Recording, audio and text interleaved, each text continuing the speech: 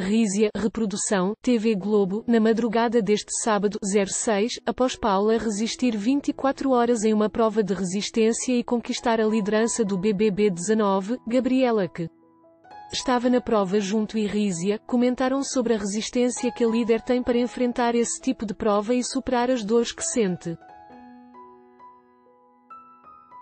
Chegou tremendo, a gente colocou ele na água quente e eu botei o prato dele, disse Rízia contando quando Alan desistiu e deixou a prova do líder. Vocês perguntaram da gente, questionou Gabriela. Eu fiquei aqui pensando, as duas magrinhas, naquele vento, naquele frio, eu não estava preocupada só com você, eu estava com a Paulinha. Eu sei que ela aguenta, mas ela aguenta por conta do psicológico.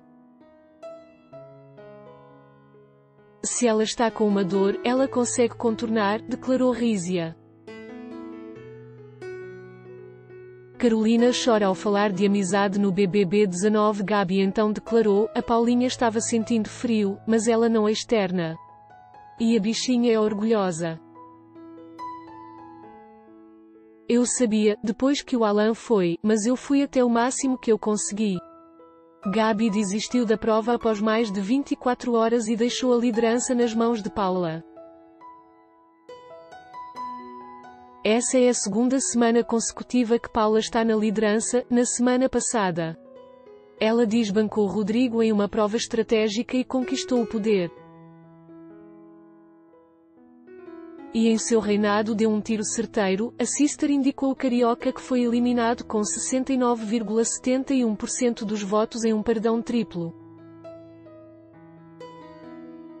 Cobertura especial BBB 19 Tudo o que acontece na casa do BBB para deixar você muito bem. Informado com notícias, informações, análises e curiosidades da edição 2019 do Big Brother Brasil. Paula relembra prova e Gabriela repreende, nem me lembra.